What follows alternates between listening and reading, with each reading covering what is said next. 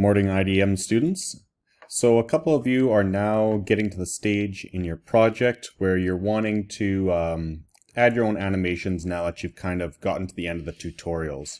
So I'm going to do a quick little tutorial here of both how to get your sprites into Scratch from Piskel and then also how to get that animation cycle working properly. A lot of you are kind of running into the same problem and so I'm going to go through this step by step. First thing you want to do is make sure you are in Piskel. Um, you'll notice that I have a background layer that's brown on this one. So if you do have a background layer, what I've done is I just went here. This is my background layer. And I've clicked on the little A. I've set the opacity to zero. That just means I've turned it to transparent. So you can see here in my preview, it's just my little character walking. There's no background around it. There's like there's a cutout essentially around it. This is really important because otherwise it'll import the background as well to Scratch and it's not going to work the way you want it to work. So what I'm going to do is I'm going to go to export. Now this is a little different than how you would hand it in to me if it was just the individual animation for marking. What you actually want to do for this is you want to go to the zip um, zip tab. So originally you went with the GIF or the GIF tab. I want you to go to zip and you can prefix this. So I'm going to call it uh, walk underscore cycle underscore and I'm going to click, don't click this one right here, split by layers. I'm just going to say download zip. Now what it's going to do is it's going to download a zip folder that you'll then have to unzip Zip is basically a compression format. And it is going to have, for mine, because I have five, um, five frames of animation, I will have five different PNG files. So we're going to click download zip. You see went into my downloads folder here. Basic egg walk one zip. I'm going to open that up. And here's the folder. So I have basic egg walk one, and then you can see that I have one, two, three, four, five, um,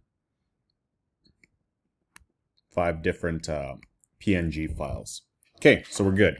I'm going to leave that open. I'm going to go to Scratch. Now, I've just, um, I've created this little Scratch. So what I've done here is I've created just a new untitled Scratch and I've left out all the other stuff you saw in your tutorial because I just want to focus on animation and um, importing a new sprite. So you can see here in Sprite 1 or Scratch that I have the basic um, basic sort of movement.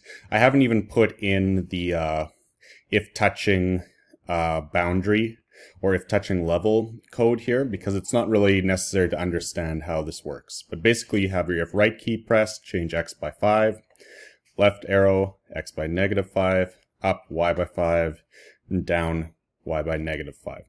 All within a forever tag, all uh, stacked on top of each other. Now what I've seen a couple of you try and do is actually work the animation into this block, and that's where you're running into trouble. What you actually have to do is you have to work your animation into an entirely separate block so they can run simultaneously. But first, let's get our sprite into the game. So I'm going to go to costumes. You can see a costume 1 and costume 2 here. So we could animate little uh, scratch here, but we're going to upload our own. So I'm going to go here, choose a costume, and go to upload costume, click on it.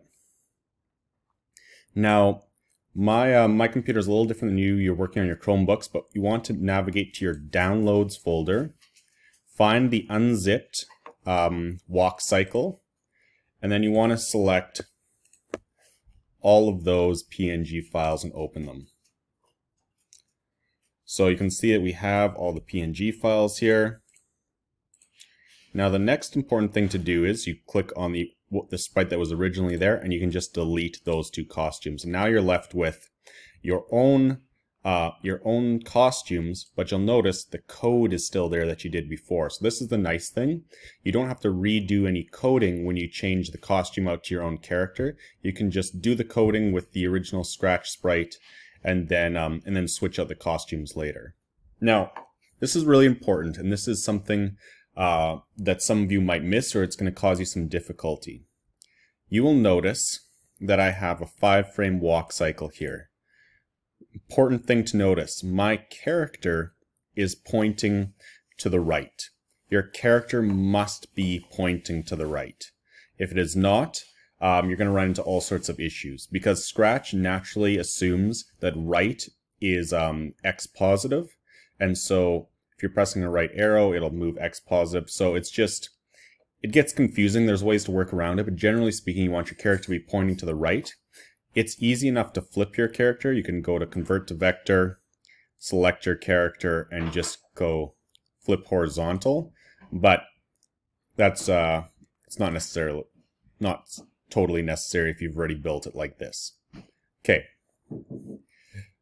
The other thing that's important when we get to this stage is I only want you to have a right facing walk cycle. Some of you are trying to put in a right facing, a left facing, an up and a down. Um, we're going to try and simplify it for now because that actually requires a huge amount of different code. We're going to try and keep this as simple as possible. So I just want five frames of right facing walk cycle. And out of that, we'll get both our left and right walk cycles just by um, using a few simple commands. But if you're looking for like an up and down walk cycle as well, we're going to leave that for now because that requires a little bit of more complex nested coding. Okay, so let's get to actually making this guy work. One thing I will do before we do that is I'm just going to go to my backdrops and I'm going to fill with um,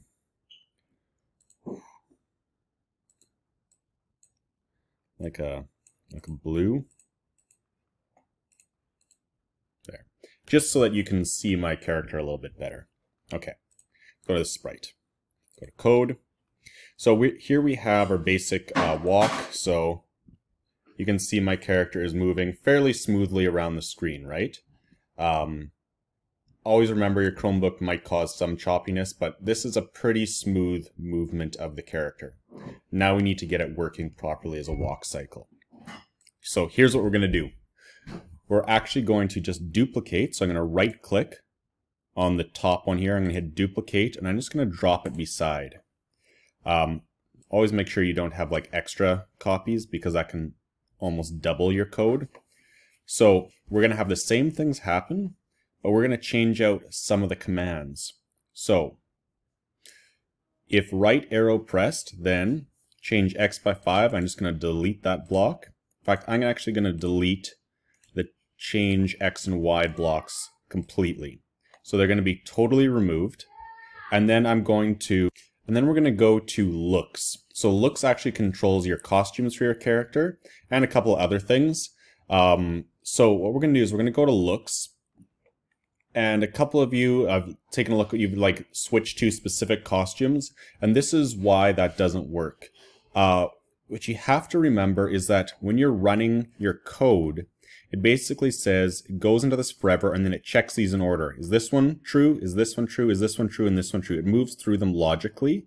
And if one of them is true it'll execute the entire code inside it before moving on to the next thing.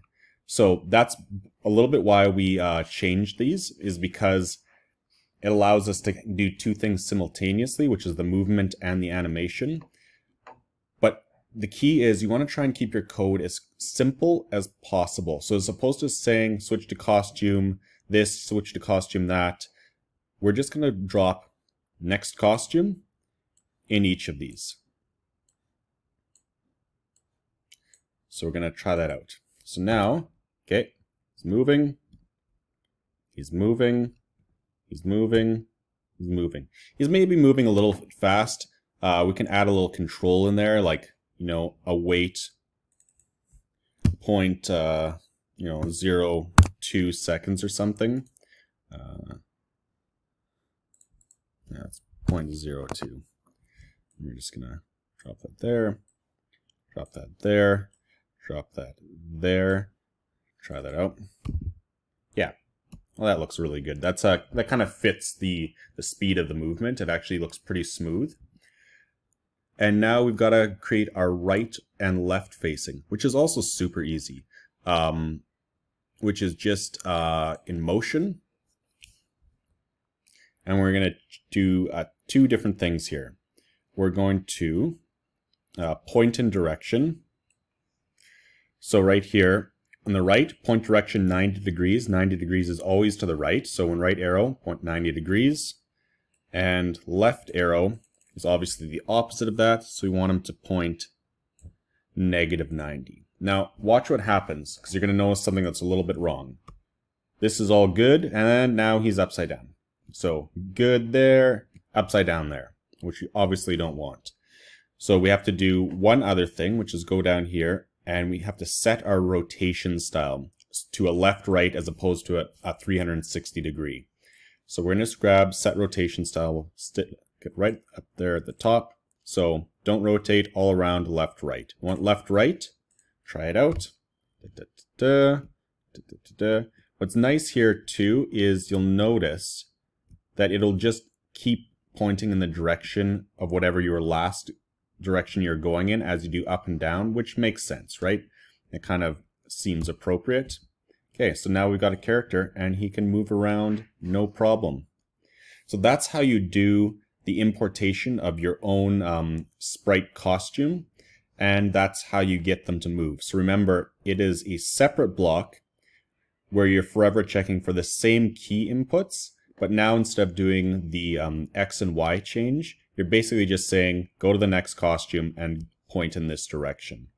So that should take care of most of your movement. I know some of you want to get more complex and have like multiple movement states where you're like going up, down and stuff.